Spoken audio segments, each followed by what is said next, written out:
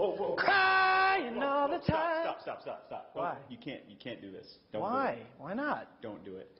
Jeff, you have to remember, that was a Grammy caliber performance last week. But the ladies of America can only handle so much. You have to give them a break. So you think we should just pick the games instead? Let's get it on. Oh, yeah. Let's get it on. Welcome to the PB Game Time Playbook with Matt Porter and Jeff Greer.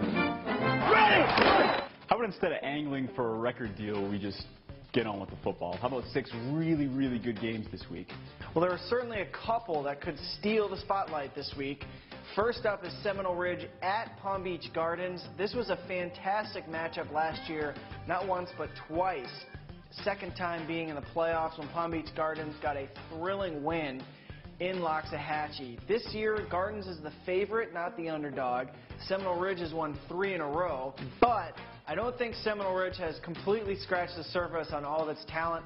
I think they're still probably a week or two away from really getting into full form. So that's why I like Palm Beach Gardens at home and another good game, 24-17.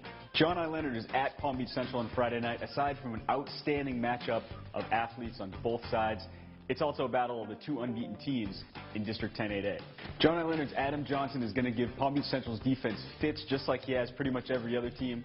But Palm Beach Central running back Lloyd Howard has been electric of late. He can take it to the house if given just a little sliver of daylight. I think the Broncos have found their game here, and I'm going to take Palm Beach Central 35 to 24. Boca travels to Park Vista this week in a do-or-die district game. Park Vista, of course, will be hoping to shore up its running defense after giving up 38 points to rival Palm Beach Central two weeks ago. They had a bye week last week, which should help them prepare for a one-dimensional Boca offense. Hey, I really like Boca running back Cecil Johnson, but I also really like Park Vista's bounce-back potential.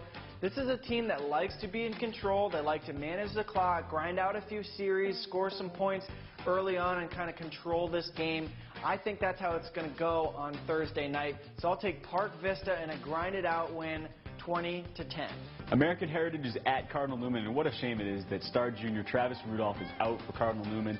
He's got a broken finger and probably won't be back until the end of the season. With him in, I think maybe, just maybe, they might have a chance against American Heritage, but with Greg Bryant and Marcus Davis in there, it's going to be tough because Heritage can wear teams down, wear them out. Now, if Newman handles its business, it could have another look at Heritage in the playoffs. They've been cruising so far, so this is a good game for the Crusaders to see what they need to improve on. As far as the scoreboard goes, I'll take American Heritage 42 to 7. All of these other games have playoff implications except for this one. Kings Academy at Pahokee, but don't let that discount how good of a game this actually is.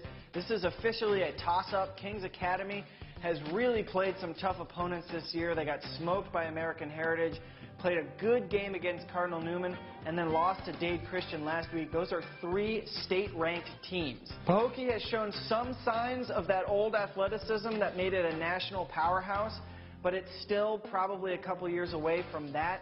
They have been losing big this year. When they do lose, they lose by an average of 40 points a game.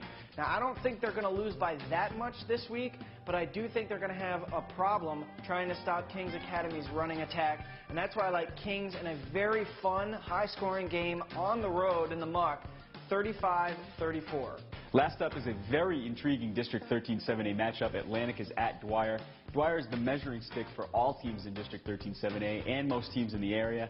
That said, Atlantic should compete here. I like the way that they've been balanced a little bit recently between the run and the pass. Now that said, Dwyer has been banged up as of late. But look, I think the Pink Panthers could beat most teams in the area with just first and second stringers.